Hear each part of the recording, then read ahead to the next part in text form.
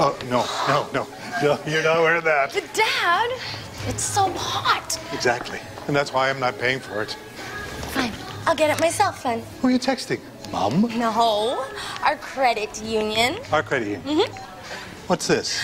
My account balance. I'll pay you not to wear that dress. We'll see. Excuse me. No on the go with mobile banking. The power of membership.